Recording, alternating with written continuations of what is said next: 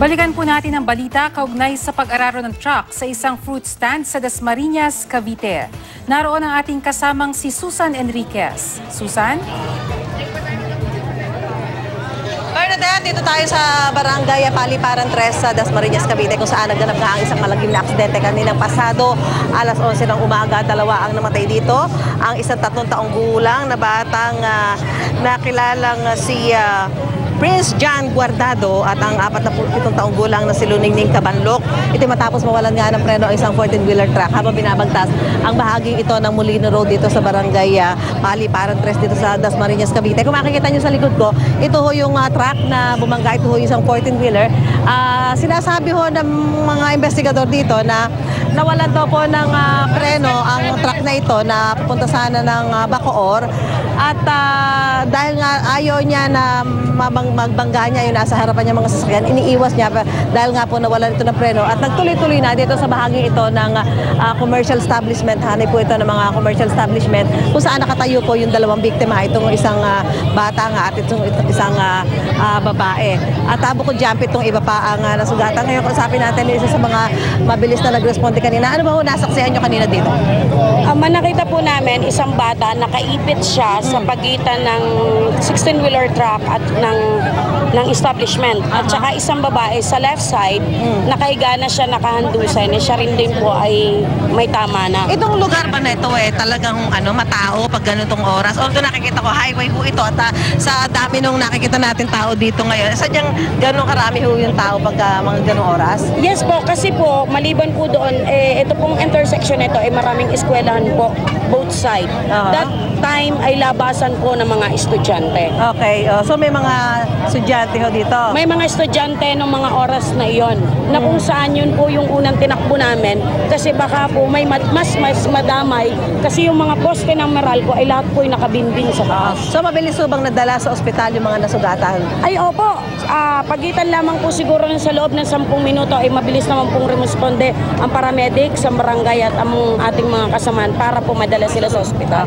Sabi ko nung investigador ay uh, bukod doon sa pagbundol doon sa dalawang biktima, nakaladkad pa ito kaya dead on the spot ang mga ang mga ito at sa katunayan pati ho yung poste ng Meralco dito eh talagang uh, halos madurog.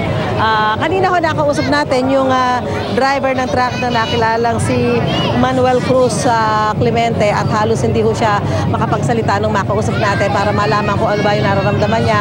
Ay kwento sana niya yung uh, nangyari, nabanggit lamang ho niya, nawalan nga ng preno yung kanya minamanayang truck na may sakay na o may lulang anim na raang uh, sako ng uh, simento papunta sana ito ng uh, Bacoor, Cavite. So nakikita ko natin ito ay nagdudulot ng katakot-takot na traffic na dito sa bahagi ito ng Dasmariñas, Cavite.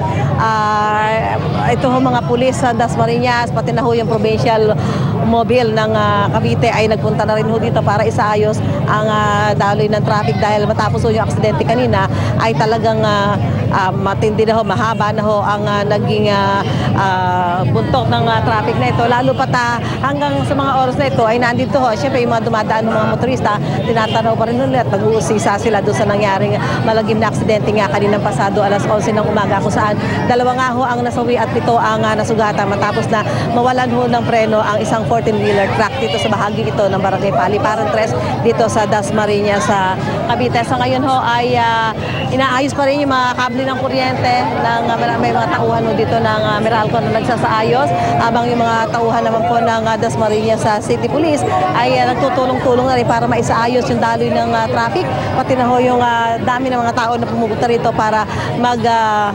mag-usyoso uh, mag-usisa dito sa nangyaring aksidente.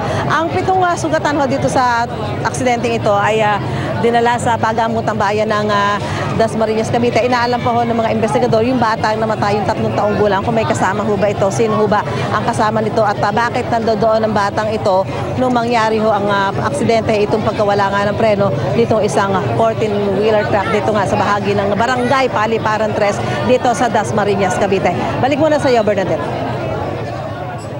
Alright, Susan, dyan kasi sa may paliparan, meron diyang mga bahagi ng kalsada na makikitid, meron din ng mga malalapad. Yan bang lugar na yan kung nasaan ka ngayon ay accident prone ba yan? Ah, well, hindi naman masabi, hindi naman sinasabi ng mga pulis na accident prone ito dahil nga sabi nung ah, driver mismo nawala ng ah, preno yung kanya minamanehong truck. So, iniiwas sana niya para ah, maiwasang maraming ma- madisgrasya. Pero pagkabig niya dahil wala na ng preno, nagtuloy-tuloy ito at bumangga. Actually, nag-cross siya doon sa opposite lane niya.